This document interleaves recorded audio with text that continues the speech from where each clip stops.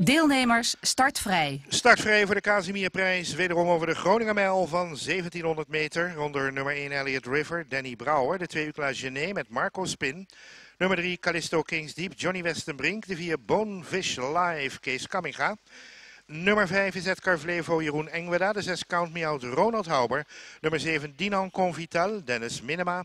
De 8 Dasmijn Medo, Niels Jongejansen. De 9 Biet de Blue met Ruud Pols, paard achter de auto.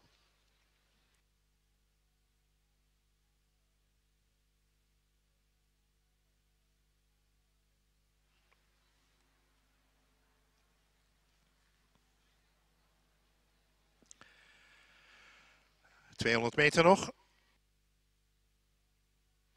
150 meter.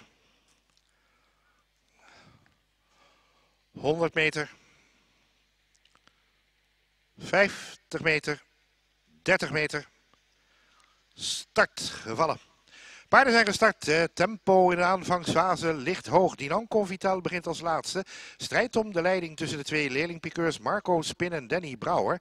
Met aan de buitenzijde de leiding voor Ucla Genet. Ucla Genet neemt de lengte voorsprong. Op de tweede plaats Elliot River. Uitgeschakeld nummer 7, galop nummer 7. Terwijl Dinan Convital zich vergist in de gang en wordt uitgeschakeld. En de paarden op weg zijn naar de rechte lijn voor de tribune. Is het aan de buitenzijde Bonefish Live. Die tracht orde op zaken te stellen op het front. De wil in het tweede spoor de leiding overnemen. En we zijn op weg nu eh, naar de grote tribunes. En daar is het inderdaad Bonefish Live die de leiding heeft. Bonefish Live leidt op de tweede plaats Ucla Genet. Aan de buitenzijde komt Edgar Flevo naar voren. En die gaat in het tweede spoor trachten de leiding over te nemen bij het indraaien van de laatste ronde. Lukt ook Edgar Flevo, maar Bonefish Live trekt mee aan de binnenzijde. Maar die schrikt zich nu wel in tweede positie. Zo gaan we de bocht in. Daarachter volgt Elliot River aan de buitenzijde van Ucla Genet. Daarachter Callisto Kings Deep en die wordt dan gevolgd door Beat the Blue.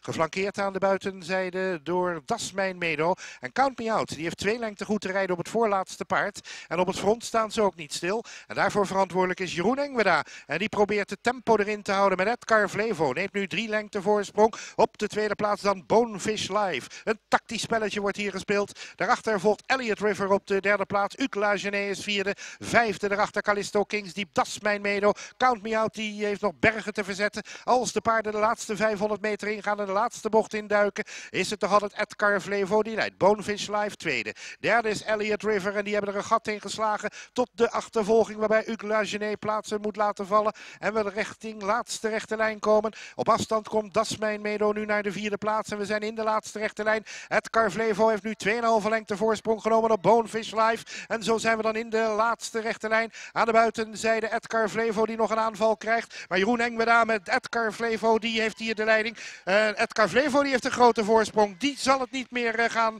uit handen gaan geven. Edgar Vlevo is de winnaar. Maar op de tweede plaats is het Bonefish Live. En daarachter op de derde plaats Elliot River. Dat is de 1-2-3.